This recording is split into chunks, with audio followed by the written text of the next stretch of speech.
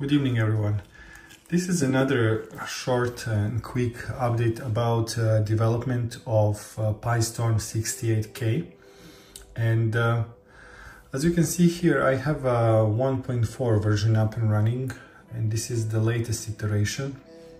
And you're probably wondering if you are watching my videos why there is so much delay since uh, I had uh, this uh, 68K uh, PiStorm variant uh, up and running months ago. But um, I came to, I faced a problem with um, different versions of uh, D flip-flops and uh, latches. And um, after a lot of testing, I kind of concluded that uh, it's not uh, D flip-flop versus latch at all. It's about who, who makes these parts. So in Nexperia, this uh, this design, initial design was quite good enough. I mean, it, it is what it is. It's, it's a very simple design. But um, then after getting the reels of uh, new parts, I noticed that uh, even the part is the same, it's actually a different vendor. Uh, I, I, believe it's Texas Instruments. So this is a big difference. And the problem was um, functionality is the same, but uh, the one problem was remain, uh, remains, and that is uh, this uh, parasitic uh, powering coming from the part. Uh, where Nexperia parts are, I assume they have some sort of isolation or protection diodes in place. Um, Texas Instruments parts, they don't have that. And uh, they will actually get, even if you disable parts completely, cut off the VCC, what happens is that the part will get power uh, over the data pins, believe it or not, and there will be some uh, spillage uh, happening on the VCC pin back into the circuit. So there, there is a lot of uh, uncertainty there. I wasn't sure at the beginning what's going on, why, you know, one board works just fine, the other one doesn't. And then after looking into these parts, I kind of made a conclusion. So for that reason, I've added a bunch of protection diodes um, here, there, even pull-ups also have uh, diodes now in place. Uh, all the all the major rails have uh, uh this improvement. So I mean, lo and behold, after this modification, it's just fine. And um, as you can see here, I have version uh, 1.4 running, and um, um, I mean, I, I did try um, two types of TI parts. One is the latch, the other one is the flip-flop and seems fine. And right now I'm, I'm running uh, using the PiStorm, as you can see here. And I can turn off. Here is the switch. I'm using just a jumper now, but uh, in a mini case you would have a switch. And then if I power on here, you will see that it's uh, going up. Okay so here you can see the uh, hold the reset and hold uh, was released for 68k and we have uh, Mini hard drive booting up here. No problem.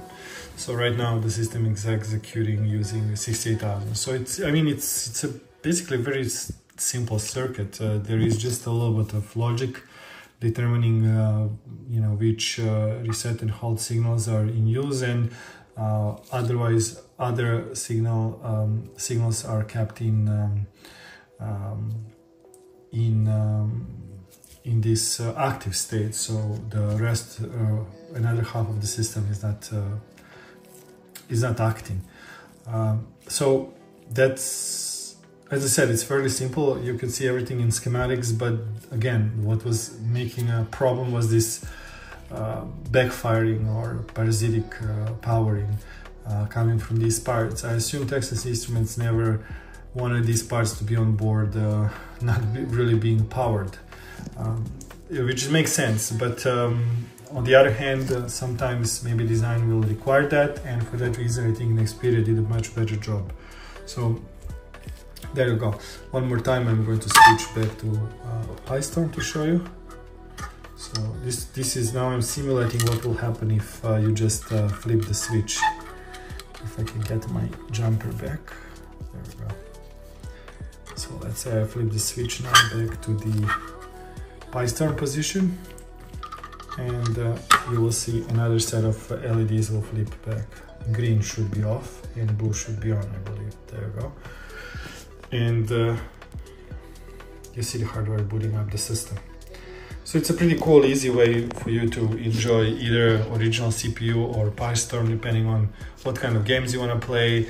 Uh, some games you prefer better on 68,000. Uh, if you want to play some RTG games, uh, of course you want to have uh, PiStorm. So that seems to be all right. Uh, other improvements, uh, someone mentioned that I should probably move LED for PiStorm on the left because PiStorm is on the left and uh, LED for 68,000 on the right, which I did. Uh, I just flipped the position so it's more logical. Um, so you know which which part of the system is, is working. But I want to say one more thing, uh, and I'm going to show you this in a second. This is not going to be the final version. Schematic wise, yes, I'm not going to change schematic um, schematics, but um, I'm, I'm, I'm writing, I'm right now, I'm finishing um, um, final 1.5 version that's going to be a release.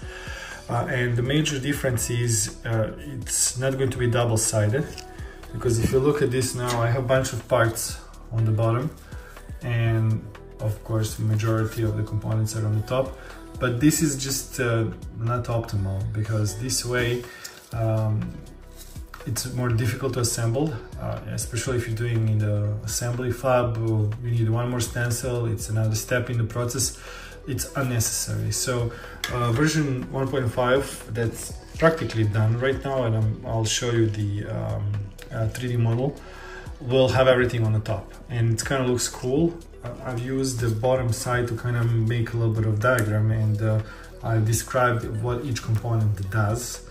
Um, just because I have all this space available and you'll see it in a second. Um, so that's that. Seems like it's working fine. I tested this with different versions of Minimig. Uh, I've tested this with the Amiga 500. Works just fine and uh, seems to be good. Now moving to um, 3D model for the latest version. So you see that it's uh, more packed, densely packed. Um, in, in fact, if you go on the back side, there's nothing here. But each of these uh, um, fields here will correspond with a field on the other side.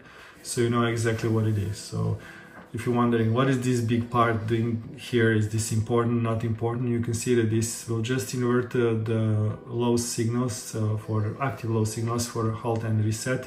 So LED indicators make more sense. Um, then this is a fuse. If you turn around, you see this is a fuse. I like adding fuse on, on, on my designs because why not? It's uh, It can save your uh, card in case something goes wrong. And then all of the other stuff. For example, here you can see uh, this part uh, on the other side. If I move, you can see that this is uh, halt and reset to active low for 68K.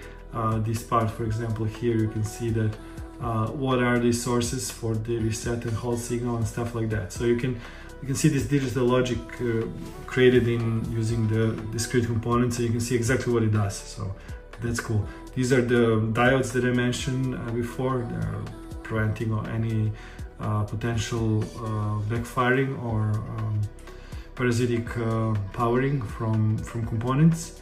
Um, and um, I did that for every rail, which is important. So even I made this jumper here where you can choose if you wanna power CBTDs level shifters all the time or only when you switch to a PiStorm uh, position. So that, that's what this does. And same here for uh, voltage regulator. Uh, for re regulating from 5 to 3.3 volts if you want to run it all the time or only when the switch is uh, flipped uh, and uh, by testing, I came to the conclusion that it's best for voltage regulator to be on, provide the power, but um, CBTDs you can safely turn off when you're not using them. So that is when the PiStorm is not active.